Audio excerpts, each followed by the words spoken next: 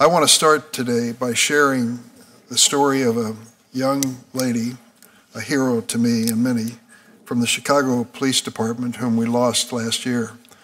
I've spoken about her before. Her name is Officer Ella French. Ella French joined the Chicago Police Department in 2018. By all accounts, she was an embodiment of selflessness. She loved people, she loved her family, she loved animals, and particularly stray dogs.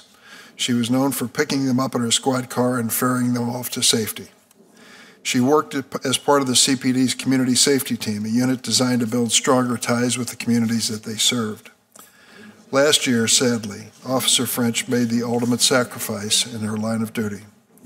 She was shot and killed while making a traffic stop with her partners, Officer Carlos Yanez Jr. and Officer Joshua Blas. She was 29 years old. The gun that was used to kill her and to seriously injure Officer Yanez was straw purchased in Indiana.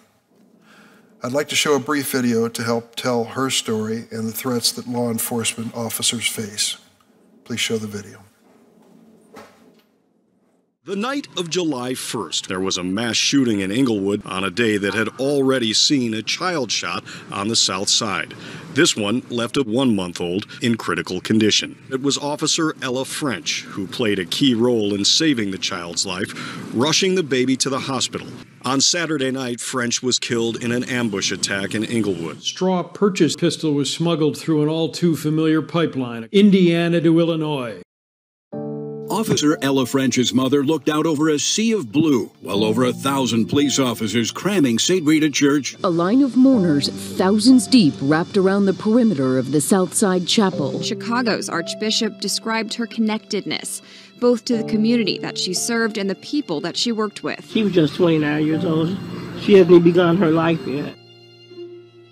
Two young police officers, both in their 20s, shot in the line of duty while responding to a domestic dispute. A Detroit police officer shot and killed in the line of duty. The police officer has been shot in southeast Houston. A North Kansas City police officer was shot during a traffic stop and has life threatening injuries. You never know, it can end in any minute. I mean, you could kiss your family goodbye, go to work, and, you know, make a traffic stop, and it could be over in a heartbeat. I'm not standing here reporting on a fistfight that keeps happening in, in and around our community. I'm, I'm reporting on double shootings, triple shootings. At this point, the firearms are more dangerous than the drugs. It's way too easy for people to use straw purchasers and get these kind of guns in their hands. I want to protect citizens. I'm a protector. I want to protect my police officers, my own son, who's a police officer. And I think we can achieve both these objectives without infringing on anyone's rights. We need to change.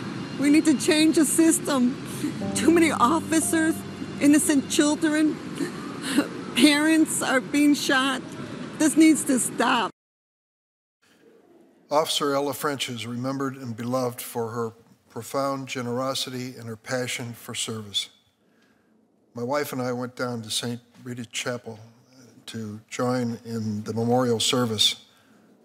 We have never seen an outpouring of grief like we saw that day.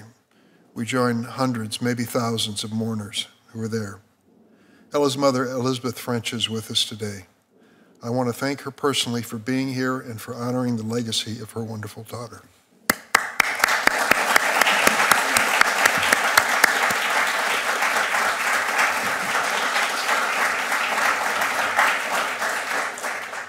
Officer French and her family remind us all of the sacrifice law enforcement officers make every time they put on a uniform.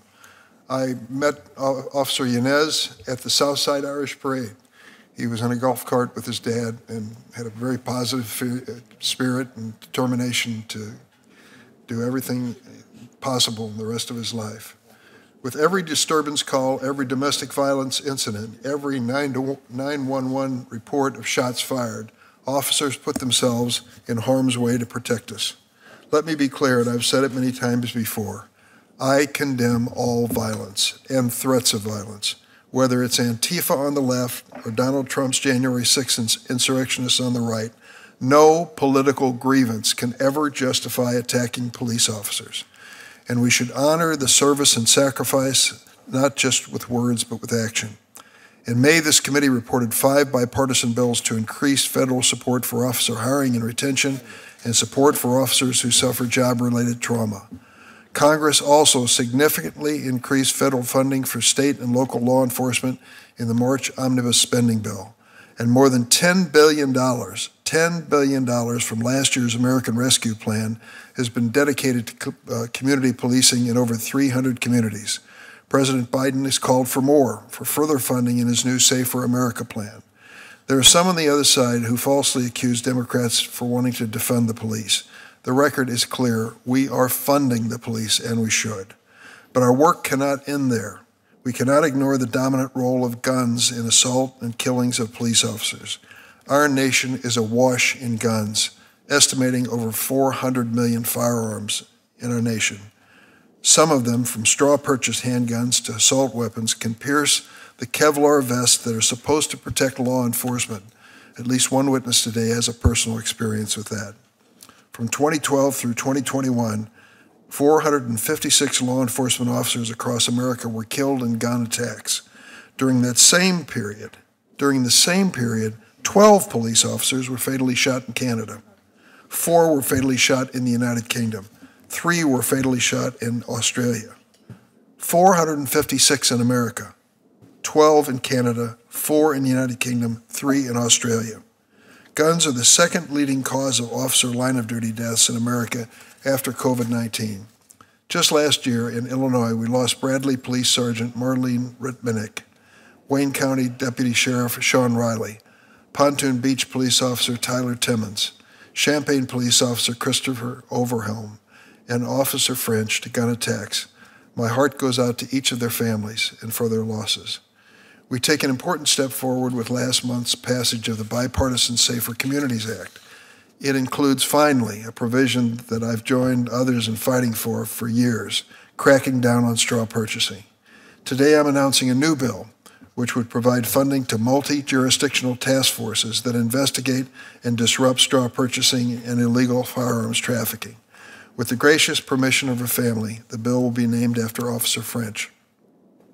We must do more than prevent officers from being shot. We must do more to prevent officers from being shot. Just last month, Chicago police officer Fernanda Ballesteros shot in the head while making a traffic stop. By the grace of God, she survived. In reflecting on her attacker, Officer Ballesteros said her situation demonstrates, quote, how quickly an officer's day can turn into something catastrophic. She's right. We have to do more to protect our law enforcement officers from the threats they face.